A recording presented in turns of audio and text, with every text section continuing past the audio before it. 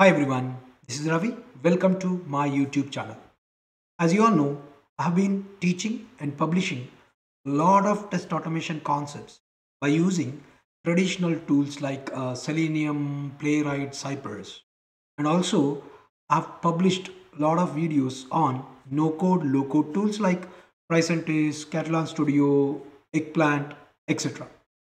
So now, as the world moving towards artificial intelligence, LLMs, agents, and so on, I've started exploring what kind of AI tools that are available in the market so that I can start automating the test cases by using artificial intelligence. I found two great tools in the market. One is testRigor, the other one is Playwright MCP. So I've already started publishing YouTube videos on testRigor. So I'll be leaving the link for the playlist in the description. And in this particular video series, I'm going to start publishing the series of YouTube videos covering the concepts of AI based test automation tool called Playwright MCP. Please do subscribe to the channel, click on the icon, you'll receive notifications whenever I publish more videos. Don't forget to like and share the video. Thank you. So welcome to AI driven testing by using Playwright MCP server. So this is our lesson 1 where I'm going to teach you what is the role of LLM agents MCP in Playwright test automation. In other words, what is the role of large language models, agents, and model context protocols in Playwright test automation? I'm going to make you understand what is large language model, what is an agent, and what is model context protocol, and what are the roles of each component in Playwright test automation. I'm going to explain all these concepts in detail step by step. So before we talk about role of LLM, agent and MCP in Playwright test automation, let us first understand what is LLM, what is agent and what is MCP. What I'm going to do in this particular session, I'm going to explain these concepts in detail in a very common language with a real world examples so that you can understand these concepts and you can remember forever. Okay, let us move forward. So now the first one is LLM. LLM nothing but large language model. So the name itself says it's a large language model which means this model is being trained by the enormous set of data. So think of an LLM like ChatGPT or Claude. So everyone knows ChatGPT, everyone knows Claude also, right? Everyone is using ChatGPT and Claude. Okay, so this LLM is a smart brain. It is a very smart brain or it works as a scriptwriter that understands the natural language. So it can read the requirements or user stories, right? And then what it does? It generates the code or it generates the test steps in plain English language. However, this LLM can think on its own, but it cannot act. So this LLM cannot act. It can think on its own. It generates the idea, it generates the code, but it cannot click buttons or it cannot run a browser in your system. So that's the limitation. You can see here, think LLM as a smart brain. It reads, understands the user stories. It reads the requirements. What it does? It writes the code or it generates the steps in plain English language.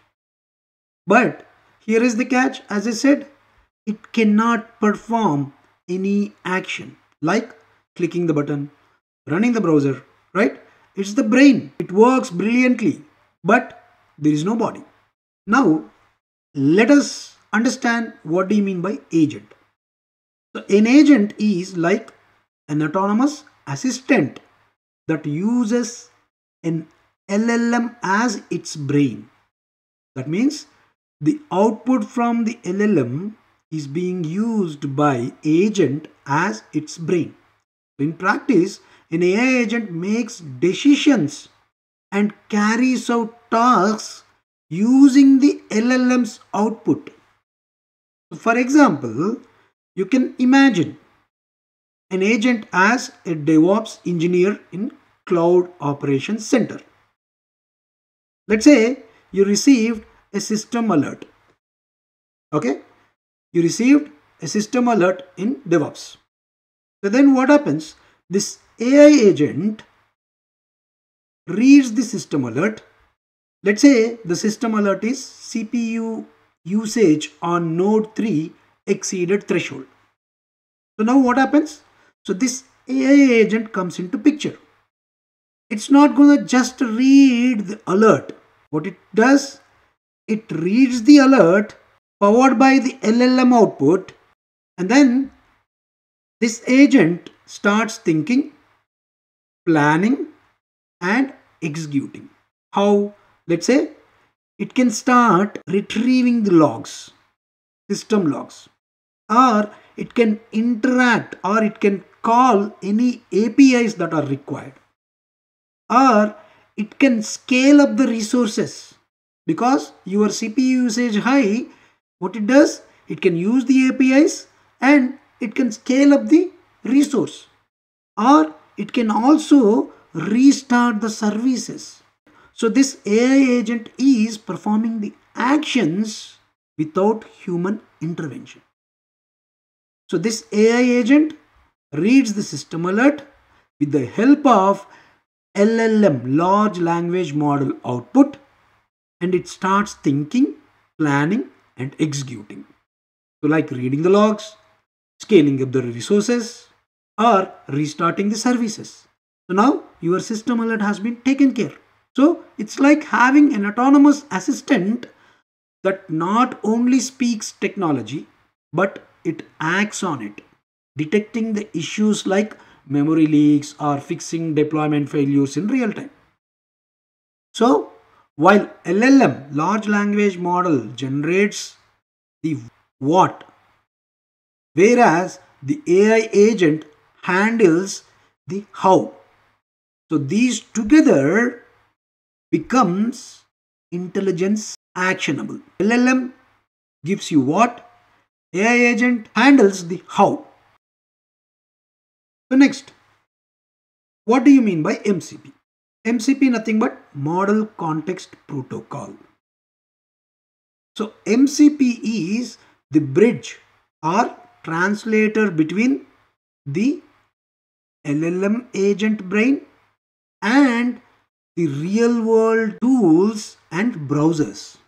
So it's bridge between LLM or agent and the real world tools and browsers. So you can think of MCP as a universal adapter or messenger bus.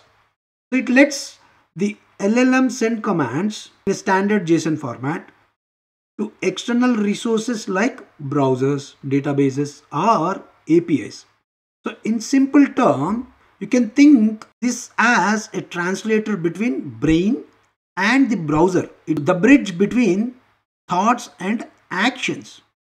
So it's like a universal adapter carrying the commands from your LLM in a language that real world understands. It creates a structured JSON format which can act on the browsers databases or APIs, whether it's filling a form or navigating to a URL or querying a database. So this MCP handles doing all these actions. So while LLM thinks, MCP executes. So this MCP can interact with your browser. It can perform actions like click operations, filling the forms, navigating through the pages, etc. So that means LLM can dream it, but MCP makes it real. So now we understand what is LLM, what is agent, and then what is MCP. So now let us stitch together and see in terms of Playwright MCP. So if you see on the screen, LLM is a large language model which can understand the requirements user stories and it generates the text and it can also do the reasoning. And agent takes the tasks, it can call the tools and it can use the memory. So here it can use the tool like playwright orchestration and MCP model context protocol sends command to automate the browser related test cases. So it can run tests on your browser. It can send commands like click, enter, right, navigate kind of commands. And by using those commands, it can interact with the browser. So that is why Playwright has introduced a very strong uh, tool like MCP server.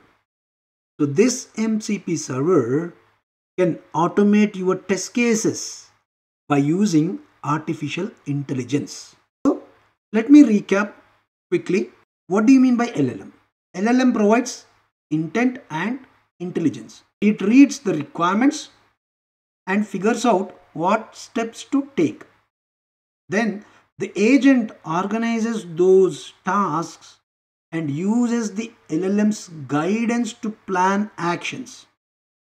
And MCP then carries out those actions in a browser. So the LLM is a director or navigator. The agent is the performer or driver. And the MCP is a communication protocol making sure instructions become action. For example, if LLM says log in to the site, then MCP turns that into browser commands like open the login page or navigate to the login page, enter username, enter password, click button. So, so MCP generates all these commands and also MCP does a structured communication. What do you mean by that? MCP relies on browser's accessibility tree. What do you mean by that? She is nothing but a map of UI elements. So this uses the map of UI elements rather than a raw screenshots. So the LLM can precisely identify the buttons and fields on your web page. So this makes instructions reliable and fast.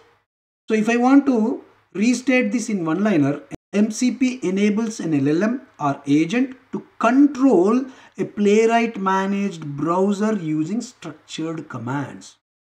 That's very simple. So now you will understand playwright MCP test automation. So now let us understand why we need to use playwright for artificial intelligence test automation or for AI test automation. Let me explain you. First of all, what is Playwright? So Playwright is a modern end-to-end -end web testing framework discovered by Microsoft. So it lets testers write scripts. So you can write the scripts in JavaScript, Python, C Sharp, etc. And these scripts can run the browsers like Chromium, Firefox, WebKit in a cross-platform way.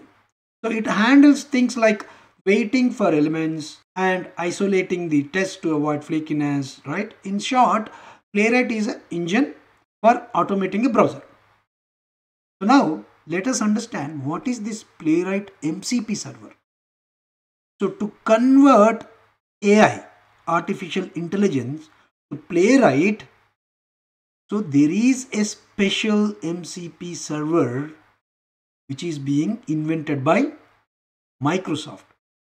So this MCP server sits between the LLMR agent and the playwright framework. So this server exposes browser actions like click, navigate, fill in the forms, etc.